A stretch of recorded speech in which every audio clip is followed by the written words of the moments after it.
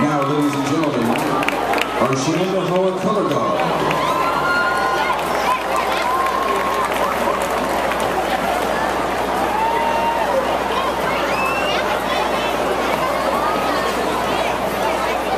Under direction of Scott Snell.